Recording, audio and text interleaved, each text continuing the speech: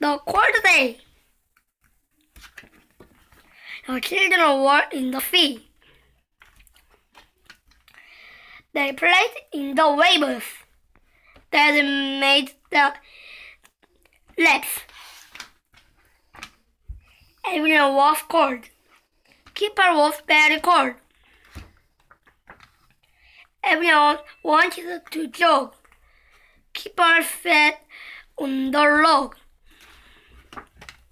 Come on, Kipper, said Mom.